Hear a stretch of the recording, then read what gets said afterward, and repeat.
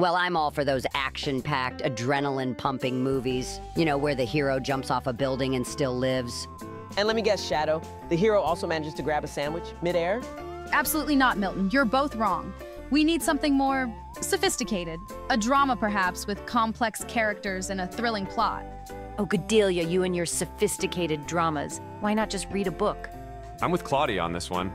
How about a comedy? Something that'll make us laugh our heads off? A comedy? Seriously, Lestat, I'd rather watch paint dry. I say we settle this the old-fashioned way, rock, paper, scissors. Oh, Milton, always with your classic solutions. Fine, let's get this over with. May the best genre win. Oh, I'm definitely winning this one. Bring it on. Let's see if the people watching this video can guess what movie we are talking about. Well, well, what's it going to be then, eh? I was cured, all right. It's funny how the colors of the real world only seem really real when you viddy them on the screen. Come and get one in the Yarbles. If you have any Yarble, you eunuch jelly thou. Oh, bliss, bliss in heaven. Oh, it was gorgeousness and gorgeousity made flesh.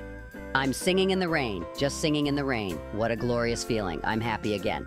You can't have any pudding if you don't eat your meat. A bit of the old in out, in out love. It's a stinking world because there's no law and order anymore. Welly, welly, welly, welly, welly, welly, well. To what do I owe the extreme pleasure of this surprising visit?